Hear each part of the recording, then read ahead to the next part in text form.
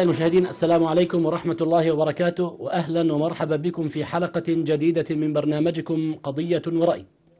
هذا البرنامج الذي يأتيكم عبر الهواء مباشرة من قناة اليرموك الفضائية. عنوان حلقتنا لهذا اليوم هو الواقع الصحفي في الأردن بين الحرية والتقييد. ويسرني أن يكون معي في الأستوديو الأستاذ باسل العكور عضو تنسيقية المواقع والصحف الإلكترونية. أهلا وسهلا بك أستاذ باسل. أهلا وسهلا بك وبكل المشاهدين في هذه المحطة التي نقدر ونحترم. أهلا وسهلا بك أستاذ باسل. أستاذ باسل آه، ترتيب الأردن آه، في الحريات الصحفية قد وصل إلى مرتبة متدنية نوعا ما 134 من أصل 179 نعم. ما رأيك بهذا الترتيب؟ يا سيدي هذا متوقع. يعني في في في موضوع الحريات آه، نحن في أسوأ حالاتنا. آه، آه، ال- ال- القانون الجديد الذي أقرته حكومة فايز الطراونة والآن هو سار المفعول هذا قانون قلنا عنه منذ اليوم الأول بأنه عرفي نعم. وأنه سيمس بسمعة الأردن ومكانتها وسيمس بالحريات العامة والحريات الشخصية والحريات الصحفية. وهذا ما حدث وهذه نتائج متوقعة ونحن نتوقع أن أن أن تكون آه، أن نتراجع في كل التقارير التي ترصد الحريات العامة والحريات الصحفية في العالم وتحديدا تلك التقارير المختصة في مجال ال- حرية الإنترنت. أنا أظن أننا سننتقل فورا من من القائمة البيضاء إلى القائمة السوداء قائمة أعداء حرية الإنترنت. هذه ال- ال- النتيجة كنا نتوقعها وكنا نقول منذ اليوم الأول بأن بأن وضع هذا التشريع بهذه الصيغة سيؤثر على سمعة وكالة الأردن. ونحن عندما كنا في الشارع كنا ندافع عن سمعة الأردن في الوقت الذي هم يسيئون إلى سمعة الأردن وإلى تطور الحريات فيه وإلى مكانته. لذلك هذه المفارقة نحن في الشارع نسعى للحفاظ على سمعتنا وسمعة بلادنا وسمعة منجزنا وهم في مؤسساتهم وفي وزاراتهم وفي مكاتبهم آه، يمسون في في سمعة ويضرون بسمعتنا ويضرون بمستوى الحريات وهذا سيؤثر بالضرورة على على نظرة العالم لهذه الدولة التي كنا نتمنى أن تكون أنموذجا في المنطقة في مجال الحريات الصحفية والحريات العامة عموما. نعم. يعني حضرتك آه، يعني آه، توقعت هذا ال- التراجع وهناك مركز الحرية آه، وحماية الصحفيين توقع نعم. هذا التراجع. صحيح. لماذا برأيك؟ يعني لماذا هذا التراجع؟ يا سيدي يعني آه، هناك الكثير آه، من الممارسات التي التي آه، رصدناها في الآونة الأخيرة وكلها تستهدف الإعلام ال- المستقل في الأردن. نعم. وأنتم واحدة من المؤسسات التي تتعرض إلى إلى إلى هذه المضايقات المستمرة التي لا تتوقف إلى جانب عدد من المؤسسات الصحفية التي ما زالت تقاتل من أجل استقلالها ومن أجل استقلاليتها. هذه المؤسسات تتعرض إلى كل أشكال التضييق وهناك عدد من الزملاء الصحفيين أيضا في وسائل إعلام مختلفة أيضا تعرضوا إلى تضييق المشابه تابعنا كيف توقف الزميل حسام غرايبي من إذاعة حياة أف أم وتابعنا كيف توقف أيضا الزميل نسور من من من من إذاعة أيام وعدد آخر من الزملاء الذين ضيقت عليهم مؤسساتهم نتيجة ضغوطات أمنية وضغوطات من مختلف مراكز صنع القرار حتى يوقفوا هذا هذا الرأي الآخر نحن الآن في حقبة الرأي الواحد الرأي. يريدون رأي إعلاما فقط إعلام آه، من حملة المباخر نعم. إعلام آه، يصفق ويطبل لكل آه، ما يفعلون ولكل رسائلهم و و وكلامهم الكثير الذي لا نجد له أي انعكاس على الأرض نعم. لا يريدون الاستماع إلى أي رأي آخر وهناك آه، زملاء وصفوا المرحلة بأنها محاولة لرأينة الإعلام تحويل. الإعلام الإعلام الأردني كله على غرار صحيفة الرأي اللي هي الصحيفة الرسمية الناطقة باسم الحكومة والأجهزة الأمنية وما إلى ذلك. وهذا ما لن نقبله ولن نتعامل معه أبدا. نحن قررنا وهذا قرار آه، يشاركنا به عدد من الزملاء الذين رغم تعرضهم لكل أشكال القيد ولكل أشكال المضايقة إلا أنهم مستمرون في في واجبهم وفي آه، قيام برسالتهم ال- في في نقل الحقيقة كما هي على الأرض. جميل. لكن وزير الإعلام الأستاذ سميح آه، بيتكلم بيقول إنه الحرية الصحفية من الثوابت الوطنية.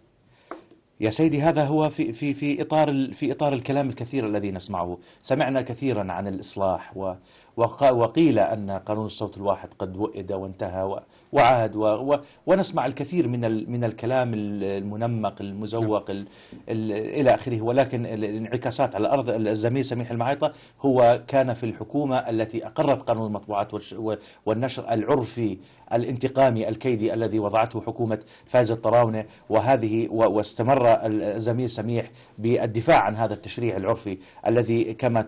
كما نتابع بدأت تقارير تصدر آه، آه، بهذا الشكل وبدأ آه، ترتيبنا يتراجع بشكل مستمر. وهذا لا وهذا سيضر كثيرا بوضع الدولة والمساعدات التي تردها من. مختلف دول العالم. السؤال الآخر أنه يعني كيف ستنعكس هذه أو ينعكس هذا التقرير؟ آه، نحو نظرة الآخرين للأردن. بالضرورة نحن نتكلم دائما عن حرية الإعلام نتكلم عن الديمقراطية نتكلم عن آه، يعني حرية سقفها السماء. ثم نأتي لنصبح في ذيل الأمم من حيث الحرية وال- وال- والديمقراطية. هذا للأسف ما يحدث يعني وهذه هذا التناقض الذي الذي الآن أخذ العالم يلمسه. نحن آه، لمسناه منذ منذ سنوات. ونحن نلمس ال- ال- ال- ال- الفجوه الهائله والهوه السحيقه بين ال- ال- التصريحات الرسمية ال- و- والتطبيق على الأرض. نحن على لمسناه على على أجسامنا ولكن الآن بدأ الغرب أيضا يلاحظ هذه المفارقة. تخرج ساستنا يخرجون الخارج ويتحدثوا كلام كثير عن الحرية والديمقراطية والعدالة والإصلاح. وعندما آه، تأتي إلى إلى ل- لترصد هذه انعكاسات هذه ال ال هذه ال ال القيم المهمة آه، تجد أنها غير موجودة على الإطلاق في الأردن. وهذا بالضبط ما حدث في الآن نتحدث عن الإصلاح في كل دول العالم آه، ونتحدث عن الحرية و ونتحدث عن نموذج مختلف في المنطقة ونقر تشريع عرفي على هذا النحو ونقر قانون انتخاب يعزل شريحة واسعة من الأردنيين ويقصيهم. يعني أنت الآن هذه المفارقة بدأ العالم يرصدها وهذه التقارير أحد المؤشرات المهمة. الآن لا تستطيع أن تذهب إلى هذه الدول مرة أخرى وتستخدم نفس اللغة لأنك الآن آه، بالنسبة لديه مكشوف يعني كيف تقول أننا, أننا بلد حرية نعم والآن وهذه التقارير كلها تدينك وتدين قانونك وتدين م- معاملتك وتدين إيذائك للصحفيين هل هناك ملاحقتك واستجوابك؟ للصحفيين هل نعم. كان هناك ردود فعل مثلا آه، أوروبية أو غربية نحو هذه التقارير؟ يا سيدي هذه التقارير هي آه، آه، آه، توضع آه، وتوزع لكل مراكز صنع القرار في في العالم المتحضر والغربي. نعم. وبناء عليها تقرر المساعدات لهذه الدول وأوجه المساعدات وشكلها وحجمها. لا تستطيع أي حكومة حتى ولو كانت يعني متعاطفة معنا ومع نظامنا ومع حكومتنا أن تذهب إلى برلمانها وتقول نريد أن ندعم الأردن مثلا ليطور آه، ال- المج- المجال الإعلام لديه. ف- فيخرج النواب هذه الدول ويقولوا عن أي حرية تتحدثون. إذا الدولة إذا الأردن تراجعت هذا إلى هذا المستوى في مقياس الحريات من من جهة وازنة ومحترمة كمنظمة آه، آه، مراسلون بلا مراسلون حدود. بلا حدود. طيب أنت هذا الآن يصبح مهمتك أصعب ويصبح وصولك إلى إلى إلى هذه إلى إلى, إلى, قناة وصول ال- العالم إلى قناعة بأنك ماضي باتجاه صحيح. موضوع أصعب بكثير لذلك هذا يؤثر ويؤثر بشكل مباشر. ونحن مرة أخرى أقول أننا كنا الأحرص. على سمعة الأردن ومكانته وكانوا هم ال- الأكثر إساءة وإضرارا بسمعة الأردن ومكانته نعم. لو آه، يعني رأينا آه، سمعنا لتقرير صادر كان عن مركز حماية الصحفيين اليوم يقولون في هذا التقرير أن الحريات الإعلامية شهدت انتهاكات مستمرة ولم تتحرك الحكومة للحد منها نعم. ولم تقم بإجراءات تدعم حرية الصحافة والإعلام كيف تفسر هذا ضمن آه، ما يحدث يا سيدي الانتهاكات أنت أنت تابعت كيف أغلقت فضائيات وكيف آه، يشوش على أخرى وكيف آه، وكيف تم الضغط على وسائل الإعلام المقروءة نعم. آه، ما حدث في العرب اليوم وما والضغوطات التي تعرض لها يتعرض لها الزملاء في صحيفة الغد وإلى جانب الضغط الهائل الذي تعرض له الزملاء في الصحافة الإلكترونية وكيف أنهم دفعوا دفعا باتجاه الترخيص وباتجاه توفيق أوضاعهم مع القانون الجديد أنت تابعت كيف كانت الحملة ال- ال- الشرسة وكيف كانت التصريحات استفزازية ومربكة وأخافت الزملاء في في في الصحف الإلكترونية. يعني واستخدموا وسائل كثيرة لدفعهم نعم. بالقوة إلى إلى إلى دائرة مطبوعات ونشر وتقديم طلبات ال- ال- التسجيل والترخيص وما إلى ذلك. هذا حدث آه، على نحو مؤسف وهذا كله يعتبر من من الانتهاكات الخطيرة. أنت أرعبت كل الزملاء العاملين في الصحافة الإلكترونية عندما عندما آه، عندما خاطبت أو خاطبت الجهاز الأمنية مختلف الشركات الكبرى كشركات اتصالات والبنوك وما إلى ذلك نعم. ألا تقبل آه، أن تجدد أي إعلان مع أي وسيلة إعلام إلكترونية إلا إذا كانت حاصلة على الترخيص آه، وجميع هذه المؤسسات والشركات والبنوك تجاوب مع هذا الضغط الرسمي نعم. بمعنى أنه رأس مال غير وطني أستاذ محمد نعم. هذا رأس مال غير وطني عندما عندما يتحالف مع مع مع آه، مع سلطة مستبدة تريد أن تقيد الإعلام وتكبله ويق- ويقبل اشتراطاتها وشروطها ويمارس ضغط آه، هائل مالي على وسائل الإعلام الإلكترونية حتى يجفف مصادرها ويجفف حتى ترضخ للسلطة. لكن- لكن هم يقولون- فتحولت هذه الشركات والبنوك والمؤسسات إلى ذراع السلطة المباشر لإيذاء وجلب وكانت السيف المسلط على رقاب الزملاء الصحفيين ما دفع الزملاء كثيرين إلى هم- إلى إلى الترخيص وإلى هذه التسجيل. المؤسسات تقول في النهاية أنها مؤسسات عاملة على أرض الوطن وبالتالي هي مؤسسات رسمية لها قيود تحددها وتقيد وظيفتها. يا سيدي ما في يعني كيف كيف لها نعم. أن ألا لا تقبل أو ألا يوجد تسير موقع. على خطط لا يوجد موقع. إلكتروني في الأردن ليس مسجلا لدى دائرة مراقبة الشركات وهو شركة. ولا يوجد قانون في الدنيا يمنع أي بنك أو أي مؤسسة في الد- في في في- في البلد وفي نعم. العالم أن نعم. تتعامل معنا بشكل مباشر نعم. ودون ودون وهذا تعاقد يكفله القانون نعم. أنا شركه آه، هذه المؤسسات الصحفية شركات وأنتم شركات اتصالات أو بنوك وما إلى ذلك والتعاقد بيننا آه، متاح وممكن ولا يوجد ما يمنعه في نص القانون ولكن هذا ال- هذه ال- الالتفاف التفاف. على على النص و و وال- و و والتحول إلى أداة والى وإلى ذراع آه، ضارب للسلطة هذا تحالف تحالف بين بين بين آه، آه، آه، هو يعني أظن أنه يقترب من من من حالة من الاعتماد المتبادل.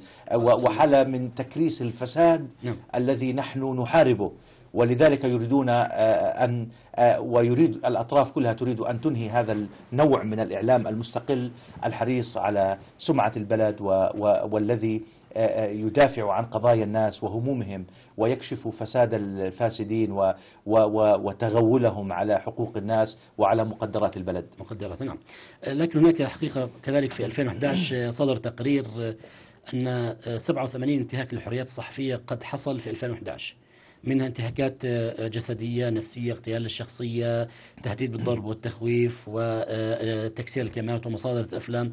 كل هذه الأمور يعني في رأيك كيف تنظر أو كيف تتعامل الحكومة مع هذا الأمر؟ يعني الحكومة الآن تضع قيود وتضع آه، حسب ما تقول نظام ينظم ويرتب آه، أمور آه، أمور الصحافة الإلكترونية أو الصحافة العادية. لكن الآن ما تشهد وما نراه في في تقارير من ضرب أو تهديد أو كذا كيف تتعامل الحكومة مع هذا الأمر يا سيدي هي مشكلتها مع ال مع ال ال ال الإعلام المستقل هي مشكلة مرتبطة أيضا بالتطورات على على الساحة المحلية مرتبطة بولادة الربيع الأردني اللي هو متأثر في الربيع العربي نعم. وهذا الحراك المبارك الذي خرج إلى الشارع ليطالب بالإصلاح وكيف أن هذا بدأ ينمو وتتسع دائرته. فكانت التغطية كانوا هم يعتبرون هم تعاملوا مع الإعلام بحساسية مفرطة. نعم. فكانوا تع... يعني كان بالنسبة لهم هذا الإعلام الذي يغطي الحراك بمثابة ال- المسخن أو ال... أو الذي يذكي الحراك ويطوره وينميه ويسلط الضوء عليه. نعم.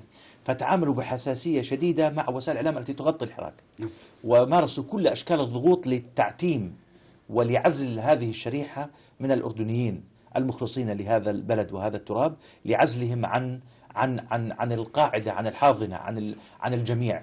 و و و مثل ماذا اللي هو مختلفة في في وسائل كثيرة استخدمت. كما ذكرنا قبل قليل، يعني التهديد يعني يعني التهديد هو كان خيارا أخيرا بالمناسبة. يعني هم بيحاولوا ان أن يستقطبوا. في هناك في اللي تحدثوا عنه بعض التقارير عن الاحتواء الناعم آه، آه، اللي هو إغراء في مناصب مستشارين إيجابي يعني. رؤساء آه، كذا في بعض الصحفيين مستشارين في جهات كثيرة في مناصب. نفس الوقت. بعضهم رؤساء تحرير وبعضهم مدراء وبعضهم في في مختلف مؤسسات الدولة واتفاقيات وإغراءات ب- ب- ب- آه، بتحسين أمور هذه المؤسسات الصحفية المالية ودفع شركات القطاع الخاص مرة أخرى للإعلان في هذه المواقع. ضمن شروط هذه المواقع نعم. يعني استخدموا مختلف وسائل لإغراء الصحفيين للعدول عن عن عن عن التغطية الموضوعية المهنية لما يجري في الشارع إذا إذا إذا أخفقوا بذلك وإذا وإذا آه، آه، آه، لم تنجح هذه الوسائل ال- لإغراء الصحفيين والناشرين والمحررين الذين يعملون على مدار الساعة الثانية. تأتي المرحلة الثانية المضايقات الفنية ربما. يعني بيلجأوا إلى المسائل الفنية من؟ من من تشويش للفضائيات أو إغلاق فضائيات لأسباب آه، ما أنزل الله بها من سلطان أو آه، اللي هي فنيا أيضا في مثل من المواقع الحجب أو مش الحجب بشكل مباشر اللي هي آه، خلق إشكالات فنية تعيق تطور ونمو هذه الوسائل وعدم وصولها إلى إلى الناس وعدم وصولها إلى إلى مختلف مناطق هل, المملكة. هل الأسعار هذه هل من ناحية الثمن والأسعار والرسوم هل كان هناك كذلك تضييق عليكم؟ رفع مثلا الأسعار رفع ال- لا لا هي لأنه إحنا مش مرتبطين في ال في ال يعني ما في service تقدمها لنا ما فيش خدمة تقدمها الدولة لل- لوسائل الإعلام الإلكترونية. أنت ت- تحجز في server ات في الخارج. مع ذلك حتى تتجاوز هذه ال ال الإشكالات الفنية لابد أن تدفع مبالغ أكبر لأنك تريد أ- أ- أن تحصل على server ات وم- وبرامج حماية أكثر و- وما إلى ذلك. وهذا كله مكلف ويصعب على ال- ال- الصحافة الإلكترونية مهمة البقاء. والوصول إلى الناس بشكل نعم. سهل و- ويسير. سمعنا أنه يعني موقع 24 جو موقعكم قد يعني واجه ضغوطات كثيرة. يا سيدي نحن آه، يعني نحن متمسك آه، متمسكون بفكرة أن أن نبقى وسيلة إعلام مستقلة نعم. ونحن آه، أيضا مستعدون لأن ندفع أي كلفة وهذا آه، وهذه آه، قيمة آه، آه، كان إنشاء الموقع للدفاع عنها أصلا. ورغم أننا قادرون بالمناسبة على على أن نرخص وأن نذهب مع القانون و و و وهذا لن نرخص. لن ترخص. لن نرخص ابدا. لن ولن. نقبل أن نذع- نذعن لهذا التشريع العرفي. نعم. ال ال ال ال حتى أعود إلى سؤالك. ال- هذه المضايقات كلها كانت بسبب التعتيم على وسائل على على الحراك في الشارع نعم. وعدم آه، ال- التواصل مع مع قطاعات واسعة من الناس عزلهم آه، اعلاميا وهذا نجحت به السلطة إلى درجة عالية جدا نعم. إذا أنت تلاحظ المشهد الإعلامي اليوم هناك عدد محدود جدا من وسائل الإعلام المستقلة التي تغطي وأنت ناهيك عن أن هناك آه، في كان انتخابات قادمة وكان لابد من من من إطفاء هذه البؤر ال- آه، ال- التي تراقب بعين فاحصة لما يجري حتى تمر العملية دون آه، يعني دون. مضايقات ودون ودون تغطيات ليست في في اتجاه واحد آه، انتخابات نزيهة نزيهة نزيهة حتى سئم الناس. هذه الكلمة نعم. سئموها تماما فهذا بالضبط ما حدث ولكن آه، آه، آه، ال- ال- ال- الخير موجود وما زال هناك عدد من الزملاء الذين نحترمهم ونقدر دورهم ورسالتهم في مختلف وسائل الإعلام مت- مسكون ب- ب- بهذه القيم المهمة وهذا الدور النبيل وهذه الرسالة ال- المهمة. وإذا سكر إذا أغلقت كل ال ال ال ال ال ال الأبواب فإن هناك في فضاء أكبر من إمكاناتهم. لدينا شبكات التواصل الاجتماعي وهذه الشبكات لا تعترف بحدودهم أيضا ولا بحجبهم ولا بقانونهم. ونستطيع أن نتواصل مع الناس عبر هذه الوسائل. وهذه و- وربما نستطيع أن نصل إلى أعداد أكبر من تلك الأعداد التي نصل إليها الآن آه، ونحن آه، نقاوم هذا التشريع نعم. العرفي الذي أقر والذي نتمنى أن يتم تعديله من قبل مجلس النواب الجديد تتوقع يتعدل؟ والله أتمنى يعني أنا آه، أتمنى حتى نبقي على يعني آه، آه، آه، ذر التفاؤل أو يعني أفق إن شاء الله في في هذا الاتجاه نتمنى أن أن أن ينحى هذا البرلمان الجديد إلى إلى منحى إيجابي على هذا النحو وي- ويعدل هذا التشريع ويعيد النظر فيه حتى نستعيد نستعيد ما ما خسرناه من من سمعة ومكانة دولية و- ويتحسن ترتيبنا في في ال- ال- المؤسسات التي ترصد الحريات في بلادنا وفي كل دول العالم. من أين هذا التفاؤل؟ والله يعني كيف بنيت لا؟ هو هو مش مبني ولا على أي آه، أرضية على نعم. الإطلاق هو تفاؤل من أجل أن حلم يعني؟ من أجل أن نتفائل من نتفائل. أجل أن لا يقال بأننا آه،. جماعة سوداويين ولا نرى أي آه، ضوء في نهاية النفق وأننا نحاول أن أن نشيع نشيع التشاؤم بين الناس وأن لا منجز هذا هذا هذا ما ما يصفوننا به وهذا على الإطلاق غير صحيح. نحن نحن تنبأنا بما آه، سيحدث. قلنا إذا أقررتم هذا القانون فإن النتيجة هذه وهذا ما حدث. قلنا إذا تمسكتم بقانون الصوت الواحد فإن النتيجة ستكون مجلسا ناقص الشرعية ولن يقبل به الناس ولن يساهم في إخراجنا من من الأزمة ولن ينهي الحراك في الشارع ولن يخرجنا من تلك الدائرة المفرغة التي ظللنا ند... آه، آه، التي ظللنا حبيس... حبيسيها طوال طوال عقد ويزيد. فأنت الآن آه، هذا كله قلناه. لذلك نحن لم نكن نشيع التشاؤم. على العكس إحنا كنا نقدم لهم قراءات قراءات مبنية على على معرفة بموقف الناس وموقف الشارع نعم. هذا رفضوه وهذا لا آه، آه، لم آه، يتجاوبوا معه وتمسكوا بمقاربتهم ورؤيتهم نعم. وهذه هي النتيجة كما تراها العالم يتحدث عن تراجع الحريات في الأردن وانتخابات الجميع يتحدث عنها منذ اليوم الأول ويتحدث عن عن تزويرها ويتحدث عن عن عن نتائجها غير الإيجابية ف- فيعني هذه نتائج نتائج حتمية لمقاربة لا تعترف بالآخر ولا تريد أن تستمع إلى صوت إلى أي صوت آخر لا تسمع إلا لصدى صوتها فقط. رغ- رغم أستاذ يعني رغم ازدحام مجلس النواب يعني برؤوس الأموال ونحن نعلم أحيانا أنه آه، رأس المال آه، يعني آه، لا يطيق ال- الحرية والتعبير بالطريقة ال- التي يعني نراها. فلا زلت أنت مصر أن هناك أنا أمل؟ أ- هو رأس المال الوطني. الوطني. ال ال آه، ال الذي لديه بعد نظر ورؤية. على العكس هو لا يستطيع أن يعيش إلا في محيط فيه حرية وفيه إبداع وفيه تميز وفيه وفيه انفتاح على الكون. ال- ال- المشكلة برأس المال غير الوطني. نعم. رأس المال الذي تقاطع مصالحه مع مصالح الطغمة الفاسدة الحاكمة في بلادنا. نعم. هذه هذا هو الخطر الحقيقي على الدولة. وهذا بالمناسبة هو رأس هو رأس مال جبان. صحيح. هو لا يبقى يوم واحد قنبلة إذا موقوتة لهم الخطب وإذا إذا هذا هذا رأس مال رأس مال غير وطني. هذا لا يعترف بحدودنا أصلا. نعم. ولا يعترف بمكونات هذا المجتمع. وهو غير معني بما يجري على هذه الأرض. هو معني قديش بحقق أرباح في نهاية اليوم. فقط. نعم. هذا هو وقديش هو يزداد رصيده. في البنك. قديش هو يزداد أرباح ال- المؤسسات والأشخاص الذين يمثلهم في الداخل والخارج. هاي هاي هي معادلته. فلذلك هذا رأس مال هو الذي هو أحد أوجه ال- ال- المشكلة التي نعانيها في بلادنا. هنا هذا هذا التحالف بين رأس المال والسلطة هو الذي آه، وصل آه، أوصلنا إلى ما نحن فيه. طب تقيم أنت يعني نسبة آه، استجابة المؤسسات المالية أو الشركات للتخويفات الحكومية كانت يعني بحجم جيد الموضوع عدم دعم وعدم هذا الإعلام هذا هذا و- هذا. نشرناه. ال- ال- البنوك الأردنية كلها تجاوبت مع مع هذه مع هذا القانون.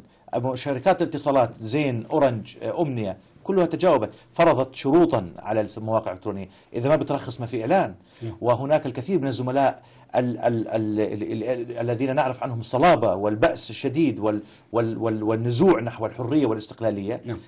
اضطروا صاغرين لأن القصة تتعلق بلقمتهم ولقمة أطفالهم. فأنت تحاصرني في وتضربني تحت الحزام وتضطرني إلى أن أسير بهذا بهذا الطريق رغم أنني غير مقتنع به وأنه طريق خطأ وطريق آه، وطريق لا آه، وطريق يتناقض مع القيمة الأساسية تدافع عنها الحرية. فأنت يعني دفعت الناس بالقوة إلى إلى ال- التجاوب مع تشريعك الذي كان مرفوضا. في بعض الزملاء أقسموا على مناهضة التشريع إلا أنه بعد بعد بعد فرض بعد هذه ال- ال- الموجة من ال- المضايقات المتعلقة بالإعلانات وتجديدها اضطروا واتصلوا بنا واعتذروا لنا. يا أخوان لا نستطيع أن نستمر لا نستطيع أن نبقى لا نستطيع ان ان ان ان, أن نعيش بدون هذه الإعلانات. جففوا المنابع يعني. جففوا م- هي هي مش هي هي مصادر دخل هي مش منابع نحن باقون يعني سواء في مواقعنا أو بغيرها. نحن باقون وهم سيذهبوا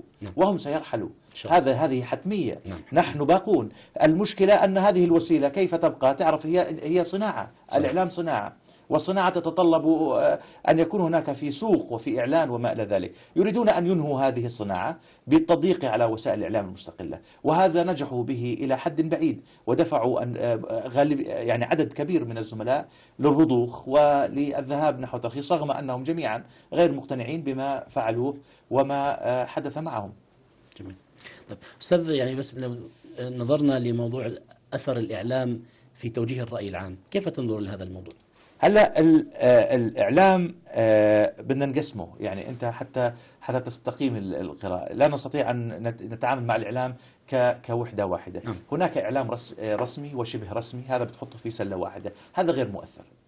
هذا لا يؤثر على الإطلاق. هناك إحصائيات؟ ه- أنا أظن أنا من خلال تواصلنا مع ناس أنت تعرف أن الإعلام الإلكتروني هو إعلام تفاعلي. نعم. فنحن نحصل على تغذية راجعة مباشرة.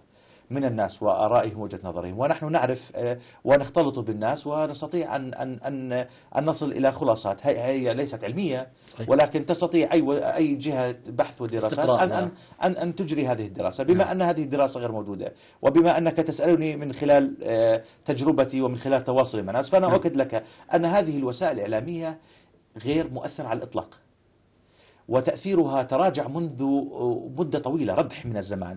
انتهى تأثيرها على الناس. هم يستمعون لها ويتابعونها لمعرفة كيف تفكر الدولة نعم. وإلى أين تتجه وما هي آه، مواقفها من مختلف القضايا حتى يصوبوا أوضاعهم نعم. فهناك فريق يريد أن أن تكون بوصلته بهذا الاتجاه الرسمي حتى يحقق مكاسب ويقترب أكثر أو يكون طامح ومندلق ويريد منصب ومكسب وما إلى ذلك نعم. وهناك فريق حتى فقط ليقرأ المشهد نعم. و- ويعني يعرف ما يجري من حوله أما أنه يتأثر و و وأنه آه، آه، آه، وتحدث انتقاله وتحول في موقفه ورؤيته فلا أعتقد أنهم بهذا المستوى من الذكاء والمعرفة. إعلامهم إعلام إعلام تعبوي.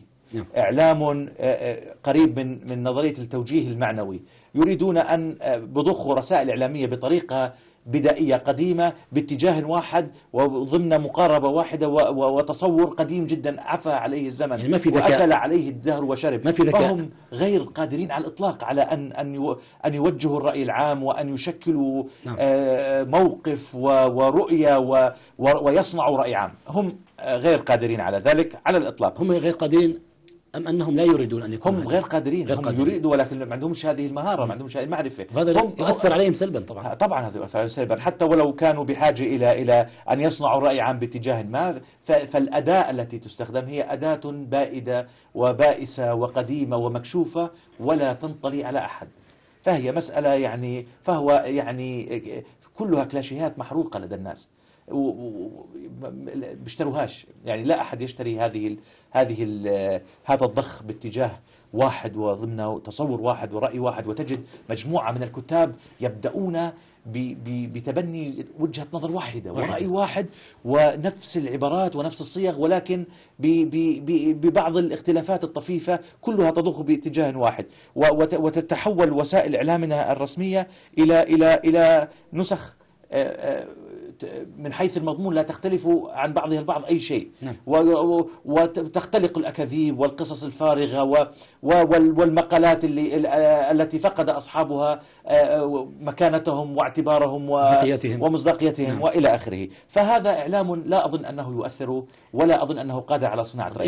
الإعلام الإعلام المستقل بس عذرا يعني إلى متى آه. سيبقى تبقى الصورة هكذا ما دام ما دامت ال- ال- ال- الأمور على هذه الطريقة وعلى هذا النحو فسيظلوا يفكروا بنفس الطريقة الطريقة. ويظنوا أنهم ينجحون ومع أنهم آه، برأيي الشخصي لا لا يحققوا أي نجاح بهذا النجاح يعني لا, لا, لا يوجد تقييم مثلا لهذه المرحلة لا يوجد تقييم لما يطرح يعني الآن نحن في عهد العولمة وفي عهد الإنترنت والاتصالات. قديما يعني كان الإنسان يعني لا يرى غير التلفزيون إكس مثلا. الآن هناك قنوات فضائية وهناك أخبار وهناك برامج وهناك مواقع تعطيك الخبر الصافي وتعطيك الخبر الدقيق. نعم. يعني لماذا آه، حتى هذه اللحظة يعملون بهذه الطريقة؟ لكن أريد أن أسمع منك هذه الإجابة بعد فاصل قصير. أعزائي المشاهدين فاصل قصير ثم نعود بعده لحوار مع الأستاذ باسل عكور فابقوا معنا.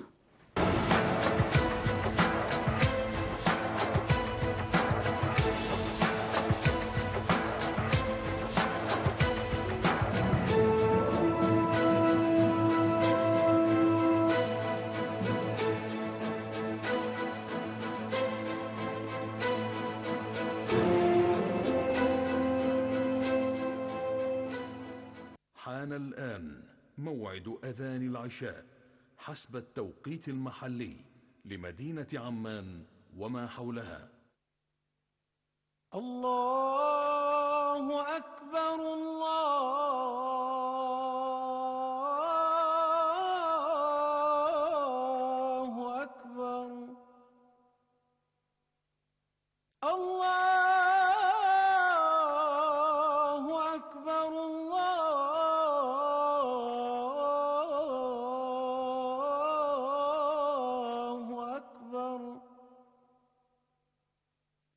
أشهد أن لا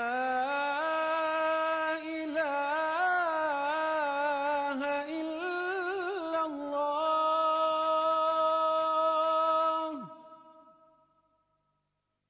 أشهد أن لا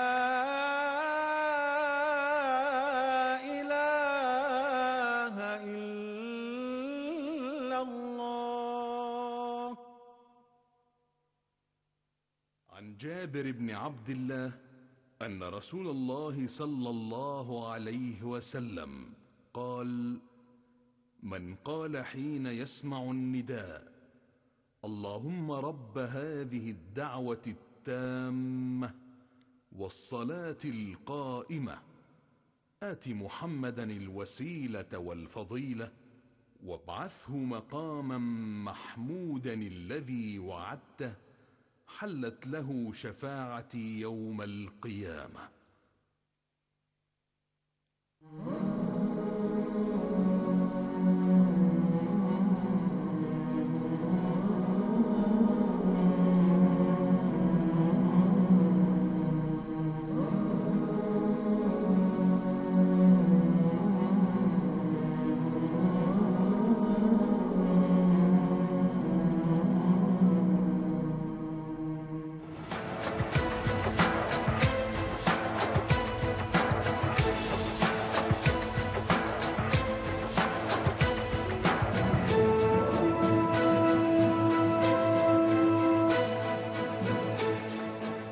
أعزائي المشاهدين أرحب بكم مجددا في حلقتنا لهذا اليوم الواقع الصحفي في الأردن بين الحرية والتقييد.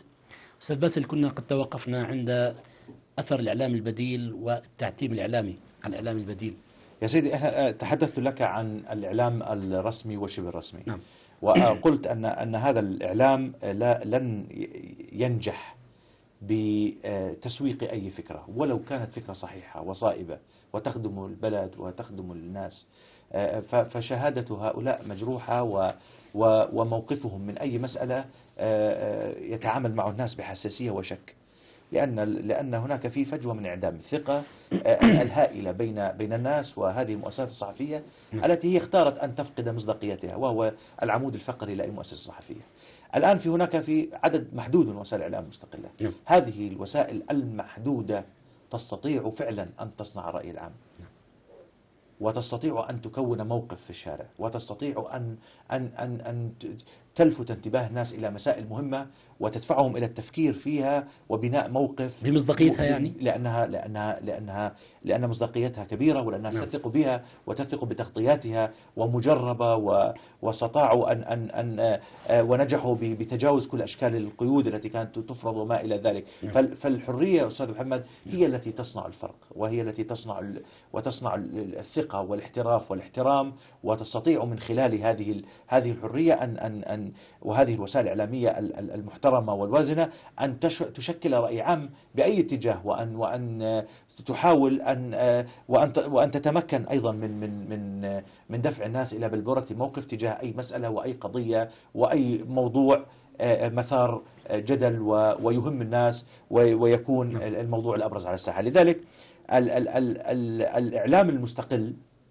هو الأقدر على مخاطبة الناس والتأثير فيهم من الإعلام التابع والإعلام الذي يتلقى تعليمات من جهات آه، رسمية وأمنية وما إلى نعم. ذلك لذلك كنا دائما نقول أن أن أن الإعلام لا يستطيع أن أن يلعب أي دور إذا ظل حبيس هذه ال- ال- العقلية العرفية العقلية الأمنية وإذا ظلت الدولة تمارس هذه القبضة الأمنية على وسائل الإعلام الأردنية فأن ال- الأردن ال- ال- جميع الناس سيلجأوا لوسائل الإعلام ال- الأخرى اللي في العالم.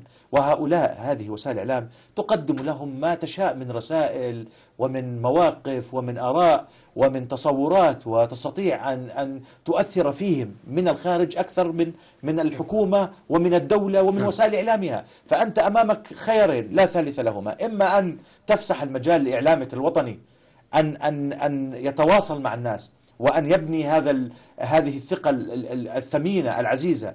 آه، بينه وبين الرأي العام أو أن تترك نهب لوسائل إعلام آه، خارجية. هذه آه، هذه الوسائل لا تعرف بماذا تفكر وماذا تريد وما هي الرسالة التي تريد أن توصلها إلى الناس وما هي ال- ال- الوجهة التي تريد التي تريد أن أن توجه الناس نحوها. فهنا فهنا هذه المعادلة. لا, لا خيار أمامك.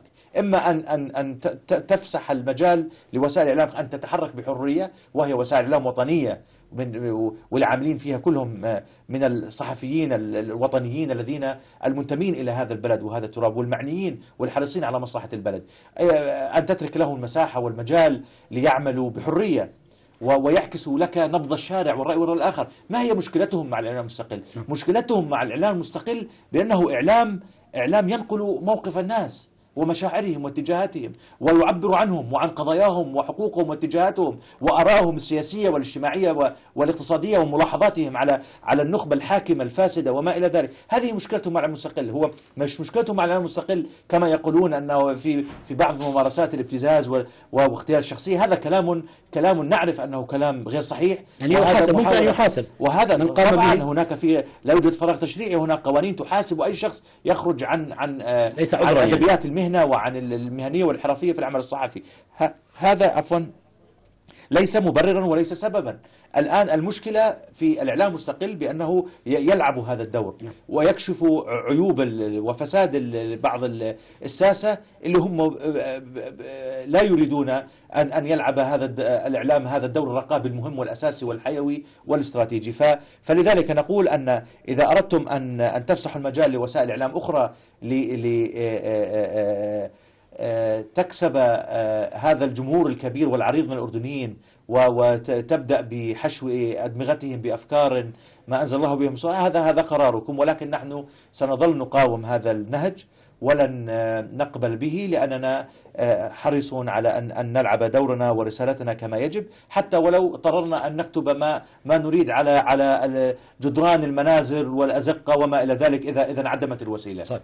لو عدنا إلى أو تكلمنا في قانون المطبوعات والنشر الأخير يعني مدير مركز حريات الإعلام يعتبره ويسميه بالفضيحة بالفضيحة. الآن في رأيك ما هي أبرز معالم هذا القانون وما هي أخطاره؟ يا سيدي ال- المشكلة في؟ القانون هو التعديلات آه، التعديلات آه، جميعها التي آه، أقرتها حكومة فايز الطراوني نعم. الذي عاد لنا اليوم رئيسا للديوان الملكي هذا الشخص الذي أقر هذا التشريع العرفي وأقر قانون الصوت الواحد يعود رئيسا للديوان الملكي هذا الشخص مشكلتنا معه كبيرة لأنه وضع هذا التشريع ال- ال- الذي يقيد الحريات الصحفية في الأردن التعديلات التي أقرها هي في أربعة محاور أساسية نعم. فيما يتعلق في الصحافة الإلكترونية موضوع الترخيص رفضناه رفضا كليا لأننا نظن أن الترخيص يعني هو أن ولادتك مرتبطة بموافقة الجهات المختلفة. الرسمية وما إلى ذلك نعم. وقلنا, وقلنا أن دول العالم المتحضر كلها تراجعت عن عن هذا المبدأ مبدأ الترخيص وقالت التسجيل تسجيل. أنا إذا أردت أن أفتح وسيلة إعلام أذهب وأسجل لدى مراقب آه، دائرة الشركات. الشركات مراقب عام الشركات وأسجل شركة رسمية وأعلن عن نفسي عن عنواني عن رقم هاتفي عن عنوان الشركة والعاملين. فيها نعم. ومديرها ورئيس تحريرها وما إلى ذلك لغايات المساءلة القانونية و و و أو الملاحقة القانونية عنواني واضح وفاكسي وإيميلي نعم. وهاتفي واضح. فقلنا التسجيل التسجيل هو مهم وهذا يحل مشكلة معرفة هوية هوية هذه الوسيلة الإعلامية آه، وننتهي مما أسموه بصحافة ال- ال- الأشباح اللي هي الأشخاص اللي مش مواقع مش معروف أصحابها وما إلى ذلك. ف- ف- ف- فاحترضنا على الترخيص الترخيص اعترضنا عليه مرة أخرى؟ لا- لأنه نعم. يكبت الحريات لأن, لا- ويعطيك- لأن, لأن ولادتك مرتبطة مرتبطة. بموافقة من جهات أخرى. يعني كلما آه، رفعت سقفك بعد السنة الأخرى لا تأخذ ترخيص آه لا هو الترخيص تأخذه مرة واحدة. هلأ أصلا أنت أنت لا لا يسمح لك بالوجود أصلا. نعم. لأن ولادتك مرتبطة بموافقة منهم. كبداية. آه طبعا نعم. فأنا يعني هلا مثلا بذهب سين يحصل على موافقة يذهب آه، صاد لا يحدث لا يحصل على موافقة فقط لأن القانون يعطي هذه السلطات الحق بالقبول والرفض أوه. الترخيص يعني القبول دون. مبرر. دون مبرر. يعني الترخيص طلبك الترخيص الآن لقناة فضائية يعني أن الجهة ال- ال- الرسمية لها الحق بأن تقبل طلبك ولو استكمل كل كل إجراءات الإجراءات نعم. وكل ال- المتطلبات. أنت نعم. استكملت كل أوراقك. ولو استكملت كل أوراق فللسلطة الحق بقبول هذا الطلب أو رفضه. هذا نص في القانون. لذلك نحن رفضنا الترخيص لأنه لأن ولادتنا مرتهنة بموافقة هذه السلطات. نعم. وقلنا أن هذا الإعلام الجديد لا يعترف بحدود جغرافية وله فلسفة مختلفة ولا بد أن نتعامل معه بهذه الروحية. أن نقبل بالتسجيل لأنني إذا أردت أن أقبل بالعمل ضمن جغرافيا الأردن وحدوده ال- ال- الدستورية والقانونية فأنا فعلى الأقل أن تحترم هذه هذه الرغبة بأن أكون موجودا دون قيد أو شرط. هذا لا يضير يعني التسجيل لا يضير. آه، لا يضير. نعم. ثانيا, ثانيا ثانيا الحجب رفضنا الحجب بكل آه، بكل أشكاله. هم هم آه، آه، طبعا أعطوا الحق آه، الحجب للسلطات القضائية. وأعطوا يعني اللي هي إيقاف المطبوعة. نعم. يعني آه، ك- كإيقاف محطة أو إيقاف جريدة أو إيقاف موقع. موقع, موقع إلكتروني. هذا نحن رفضناه. قلنا آه، هناك متضرر يطالب بالتعويض المدني آه، مهما آه، بلغ هذا التعويض والجهات القضائية آه، تحسم هذه المسألة وتعوض المتضرر. لا يجوز أن تلغي وتحجب وسيلة إعلام. حجم مؤقت ولا دائم؟ حجب الحج ال- ال- الحجب في القانون اللي أقروه آه، آه، ليس محدد المدة. آه، يعني إذا إذا إذا لم يقل الحجب لحين تصويب أوضاع لم يقم الحجب لحين تعويض المتضرر. تركها- لا ترك الحجب مفتوحا. حتى آه، هذا أن- حتى ممكن أن يحجبك آه، آه، آه، للأبد. دون دون أن يحاسبه أحد. نعم. فالحجب هو مفتوح. آه، النقطة الثالثة التقاضي. كان مشكلتنا بمسألة التقاضي أنه آه، أن القانون الجديد آه، آه، لم يخصص ال- ال- ال- التقاضي في محكمة بداية عمان اللي هي في في قصر العدل نعم. كما كما كان الأمر عليه في القانون السابق فقال بفتح غرفة تقاضي في كل محافظة خاصة بقضايا المطبوعات والنشر في كل محافظة وفي كل مكان فأن كيف يؤثر عليكم هذا؟ طبعا يؤثر يعني اذا إذا اليوم مثلا رفعت قضية على أحد الصحفيين في الطفيلة وغدا في إربد وبعدها في العقبة. العقبة وبعدها أنت يجب أن يضيها. تمثل أمام الق- آه، آه، القضاء في كل مكان وتتنقل من مكان إلى آخر. غالبية الصحف في الأردن، الغالبية العظمى من الصحف في العاصمة. الإلكترونية في العاصمة عمان، العاصمة، نعم. لذلك كان القانون السابق يتحدث عن التقاضي في في عمان في في في غرفة تقاضي خاصة، الأمر الآن اختلف وأصبح الان مشاع، أي مكان. تذهب إلى أي مكان إذا إذا كان رغم أن الاختصاص هو في عمان في وجميع الوسائل الإعلام مكاتبها في عمان إلا أنهم ارتأوا ذلك وهذا سجلنا عليه ملاحظة ورفضناه أيضا. موضوع التعليقات رابعا. آه، موضوع التعليقات هذه هذا من أسوأ من أسوأ الصيغ اللي اللي أنا آه، قرأتها آه، في التاريخ أظن. تعليقات المشاهدين أو المتابعين المتابعين، ال- نعم. ال- الجمهور ال- ال- القراء آه، تخيل أن التعليق الواحد إذا إذا كان تعليقا مسيئا فأن المطلوبين لل- للقضاء على ضوء نشر هذا التعليق هو هم رئيس التحرير المدير العام مدير عام الصحيفة نعم. أو مدير عام المؤسسة الشركة نعم. الذي لا علاقة له بالسياسة التحريرية لا من قريب ولا من بعيد قلنا ال- رئيس التحرير المدير العام المالك. النا- الناشر اللي هو مالك الصحيفة المحرر الذي نشر المادة النشر التعليق وكاتب التعليق. مش ضايع غير المراسل بس. ما ظلش إلا مر... يعني أنت. وتخيل هذول بدهم يلفوا كل محافظات المملكة. إنه بركب السيارة اليوم في في هذا المكان غدا في مكان آخر. وكله على تعليق أرسل من أحد المواطنين. إلى جانب أن القانون آه، آه، يلغي يلغي خصوصيتك كصحيفة. ويسمح للجهات الأمنية بالوصول إلى مصادرك وإلى جمهورك والدخول في أجهزتك وسيستمك وبرمجتك. بمعنى أن ال- التعليق إذا جاء من شخص لم يحدد اسمه فتأتي الأجهزة الأمنية حسب القانون وتدخل على أجهزة وضمن برامج خاصة ومعينة تصل إلى ال IP IP تبع. المعلق. نعم. وفجأة المعلق هذا اللي بيكون جالس في بيته يجد أنه مطلوب لدى الجهات الأمنية أو أو يتم آه، اعتقاله في نفس اعتقاله المكان في نفس المكان أو وما إلى ذلك. بمعنى أنهم يضربون هذه ال- القيمة اللي هي التفاعلية. تفاعلية صح. و- وهذه الثقة بين المواطن وهذه المؤسسات اللي, اللي من خلالها بدأ يتحدث ويلفظ ويلفظ الخوف والصمت وبدأ يعبر عن رأيه ووجهة نظره. هذا غير مسموح في الأردن. هذا في ضوء هذه العقلية العرفية هذا غير مسموح. لا يجوز أن تعبر عن رأيك. يا ب... تعبر عنه بوضوح وتقول اسمك قدام الناس لا تحترم انه إنه أنت مثلا لا تريد أنت موظف رسمي أو أنت شخص ليس لديك هذه القدرة على آه، أن تواجه